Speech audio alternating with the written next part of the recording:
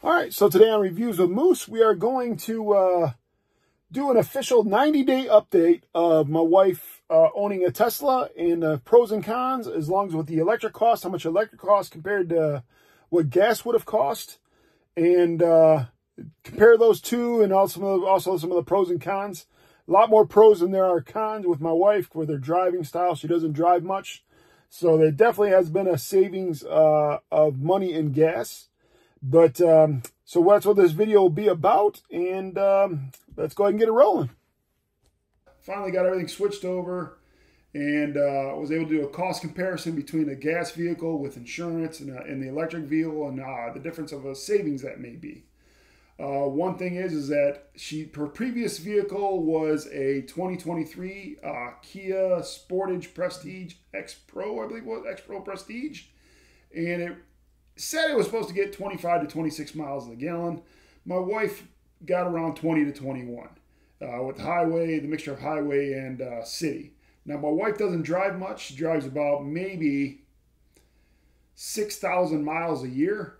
And so we started entertaining the thought of getting a Tesla Model Y about six, seven months ago. And it finally came into fruition where we purchased it uh, 90 days ago. So I'm going to go over the cost differences. The first thing we did was uh, we switched our insurance company because when I got a quote uh, from Allstate for the Tesla, they told me it would only be about $60 more every six months.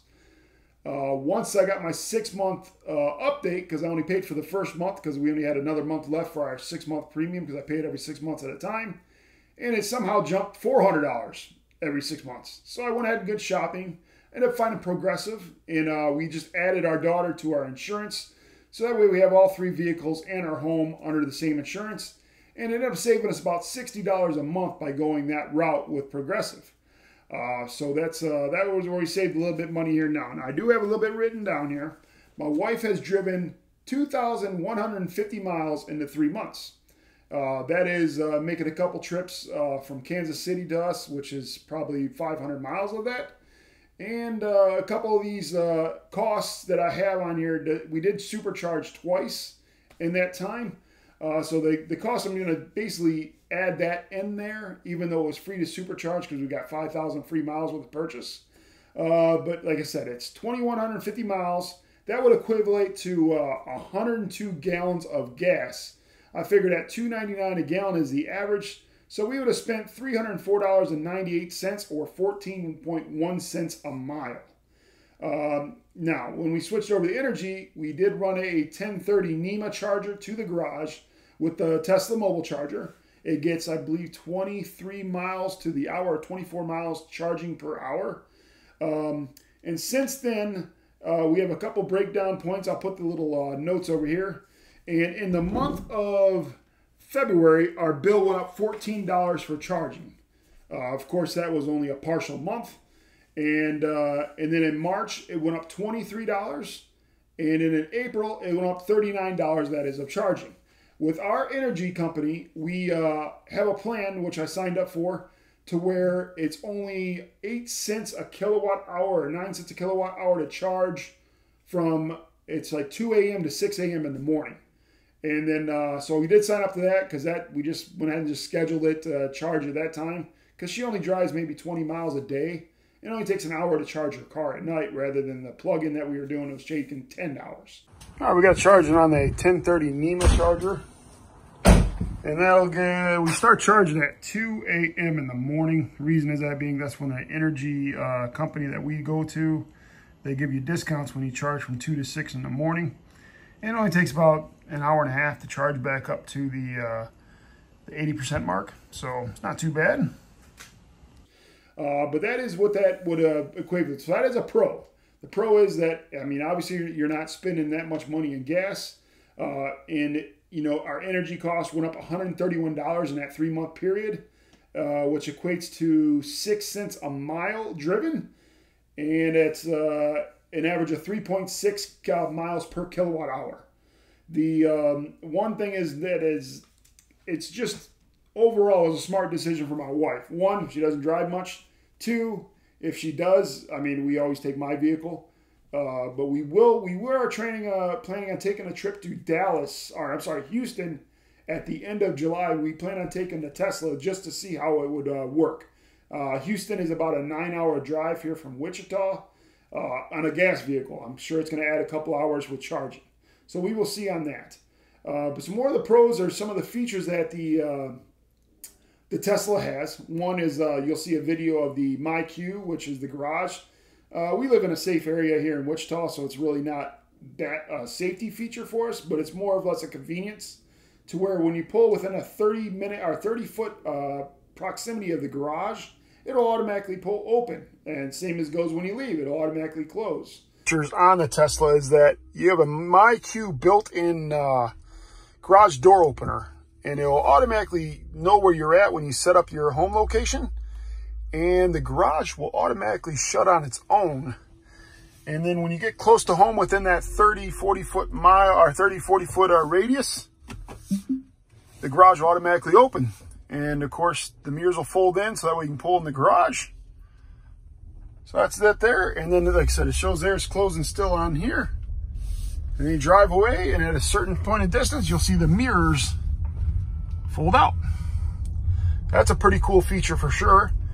So, uh, all right, so we are pulling back in. I'm gonna show you how this garage door works uh, when it's get closer. And you'll see the mirrors start to fold in here in a moment.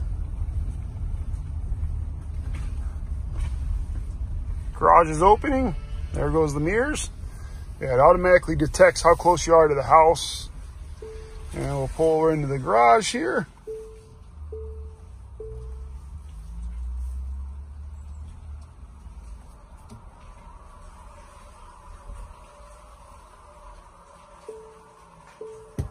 Yeah, so that's pretty cool.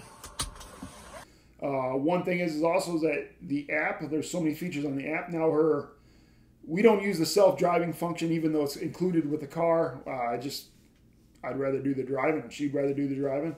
Her previous vehicle, the Kia Sportage, that did have that same kind of feature. It wasn't obviously like it, it was a Tesla, but you could lightly let your hand off the wheel. But again, we never used it on there as well. Uh, but what we ended up doing is uh, the Kia Sportage we ended up giving to our daughter, and she actually had a Kia Sportage as well, and we got rid of her car. So, um, but yeah, that's just the gist of it. And uh, I'm gonna have a couple videos here, and I'll a couple of the scenarios over here. Uh, for us, the only con that we would have is one, if we do take trips with it, uh, we haven't taken any trips yet, so I don't know how much of an inconvenience it will be to stop and charge. Uh, you know, I, I, do have a plan stopped in on the way to uh, Houston. Is that we plan to stop in Oklahoma City, charge, and then uh, Denton, Texas, I believe, will be the next stop at Buc-ee's because I'm a big Buc-ee's fan. Uh, and charge up there, and then I believe we would have to. I believe that would give us enough to get to Houston, if I remember. Uh, I have to look at my map again, but um, that is some. That is the only con is a charging port. Um, as far as uh, another another one is is like the car wash situation.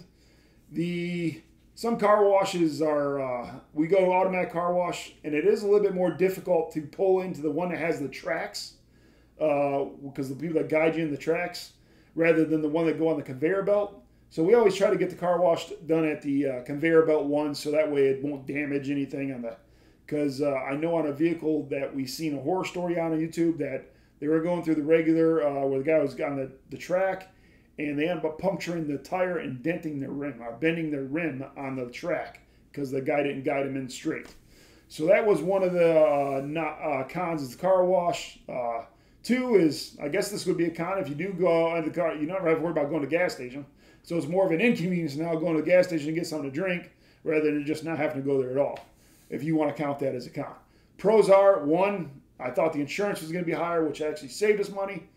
Two, don't have to stop at gas stations anymore. Three, it saved us uh, in one, or since in 90 days, we have saved uh, right around $177 uh, compared to what the cost of gas would have been. So that is $177 savings. And, you know, like I said, the, white, the way my wife drives her car, uh, that was, it's a no brainer for her. Uh, and uh, glad we made the purchase of Tesla Model Y. I still have my Ford Maverick that's doing good. I'm trying to get to 700 miles to the tank on this one here. We will see. All right, again, this was Reviews of Moose. Please like, comment, and subscribe. And everybody have a great day.